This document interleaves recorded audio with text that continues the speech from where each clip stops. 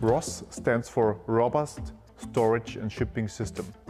And RoSS is the shell that protects single-use bags during the freezing and transportation. In nature, water expands by approximately 8% during freezing. Foam is very soft at room temperature condition. Once the bag freezes, it expands, it squeezes into this foam in the side walls. Once the bag is frozen, the foam becomes hard.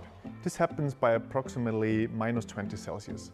So the bag fully expands, squeezes into the foam, the foam becomes hard and immobilizes the frozen bag.